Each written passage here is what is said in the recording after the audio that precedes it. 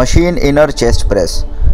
Hold the handles with a neutral hammer grip and keeping your back flat up against the padding. Now slowly push out the handles using your arms but squeezing with your chest as the handles are extended out in front of you. This exercise targets the inner chest. Now squeeze and hold out for a count and return back to the starting position. Now repeat for the desired number of repetitions. Pec deck machine. Gripping the pec deck handles, pull your arms towards your body while contracting your pectoral muscles.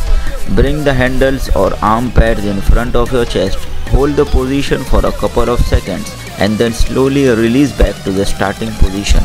Now repeat for the desired number of repetitions. Reverse dumbbell bench press. Lay back on the bench and push the dumbbell straight up above your chest. Twist the dumbbell so that your palms are facing your shoulders. This is the starting position of this exercise. Now slowly lower the dumbbell down, keeping your palms in line with the middle of your chest. This exercise targets the upper chest. When the handles get to around chest height, pause and raise the dumbbell back to the starting position.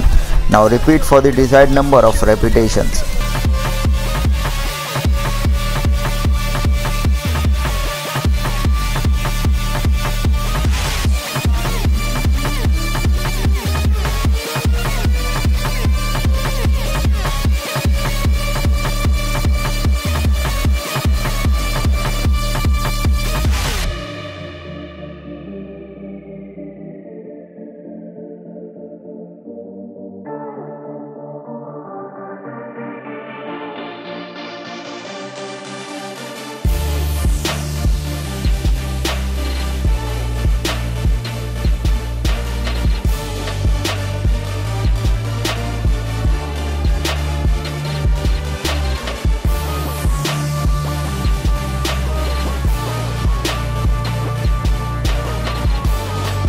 Cable crossover.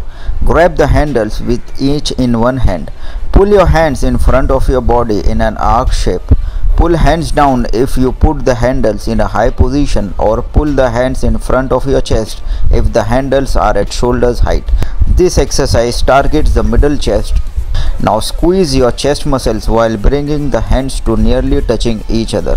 In a controlled manner, slowly bring your arms to the initial position. Now repeat for the desired number of repetitions.